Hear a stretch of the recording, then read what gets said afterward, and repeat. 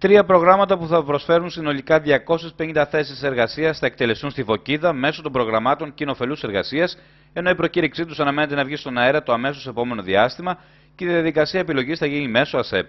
Πρόκειται για 50 θέσεις εργασίας στον Δήμο Δωρίδας και 85 στο Δήμο Δελφών, που εξασφαλίζονται μέσω του Ινστιτούτου Εργασίας της ΓΕΣΕ μέσα στο 2012. Τα προγράμματα είναι πεντάμινης διάρκειας και η μηνιαία αποζημίωση όσων απασχοληθούν σε αυτά θα είναι 625 ευρώ συν την ασφάλειά τους. Αν και οι ειδικότητες έχουν οριστικοποιηθεί, είναι δυνατόν να αλλάξουν αν δεν υπάρχει απαιτούμενη προσφορά.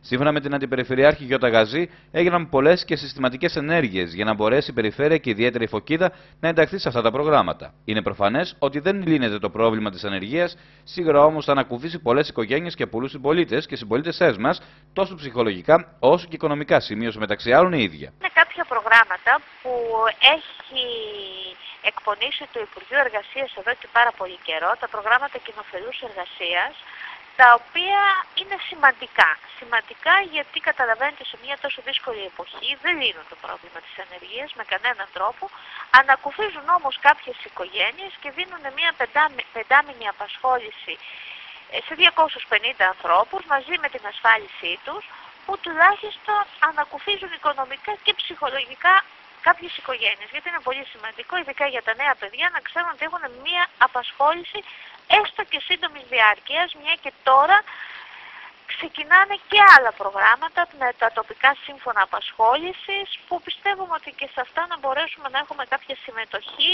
για να υπάρχει και μια, έτσι, μια συνέχεια ε, σε, σε αυτή την ιστορία. Ε, τα προγράμματα αυτά έχουν μια ιδιαιτερότητα.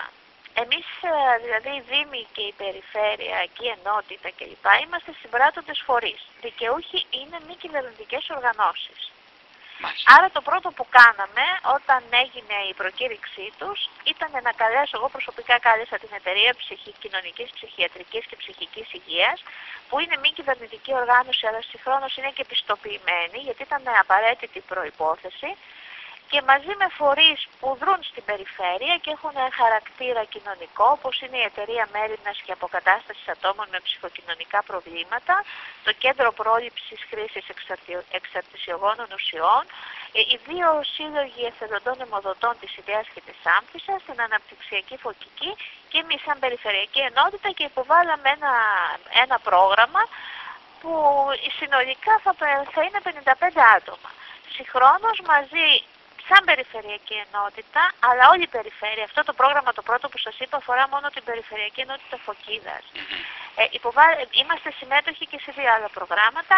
Ένα με το Ινστιτούτο Εργασίας της ΓΕΣΕ, από το οποίο πήραμε εμείς σαν περιφερειακή ενότητα 30 άτομα, ο Δήμος Δωρίδας 50 και ο Δήμος Δελφών 85, δηλαδή σύνολο 165 και συγχρόνως συμμετείχαμε και σε ένα άλλο πρόγραμμα με το Σύλλογο Γονέων και Κηδεμόνων Ατόμων με ειδικές ανάγκες που σαν περιφερειακή ενότητα παίρνουμε άλλα 30 άτομα. Δηλαδή εμείς μαζί και οι Δήμοι έχουμε σύνολο 250 άτομα τα οποία θα χειριστούμε σε συνεργασία όσο μπορούμε καλύτερα, θα διαχειριστούμε το πρόγραμμα ώστε να έχουν πρόσβαση όσο περισσότεροι συμπολίτες και συμπολίτες μας μπορούν. Φυσικά να πούμε το εξής ότι όλη αυτή η διαδικασία θα γίνει μέσω ΣΕΠ. Η Αντιπεριφερειάρχη οριοθέτησε χρονικά την πρόσληψη των επιλεγέντων που θα προκύψει με διαδικασία ΣΕΠ περίπου το Μάιο. Και εμείς συμμετείχαμε σε μια συνάντηση που είχε διοργανώσει το Υπουργείο στην έδρα της Περιφέρειας στη Λαμία. Η πιο αισιόδοξη πρόβλεψη είναι τέλος Μάρτη. Εγώ επειδή ξέρω πώς λειτουργούν αυτά, θα είμαι πολύ ευχαριστημένη να ξεκινήσουν Απρίλιο με Μάιο. Μακάρι εμείς θα κάνουμε ό,τι είναι δυνατό να ξεκινήσουμε σύντομα. Είναι ο στόχος μας αυτή την εποχή, ό,τι καλύτερο μπορούμε να κάνουμε είναι να στραφούμε σε αυτόν τον τομέα. Καλό είναι να μην λέμε μόνο ότι μην κάνετε αυτό, αλλά να δίνουμε και διέξοδο σε κάποια προγράμματα που τα έχουμε ιδιαίτερα ανάγκη αυτή την εποχή. Και αυτή την εποχή προτεραιότητα έχουν η κοινωνική πολιτική σε ανήμπορους ανθρώπους, συμπολίτες μας, και φυσικά η δυνατότητα να έχουν εργασία που είναι πολύ σημαντικό. Αυτά και τα παλεύουμε και νομίζω ότι ε, τα εκμεταλλευόμαστε στην ε, μεγαλύτερη διάσταση που μπορούμε να κάνουμε.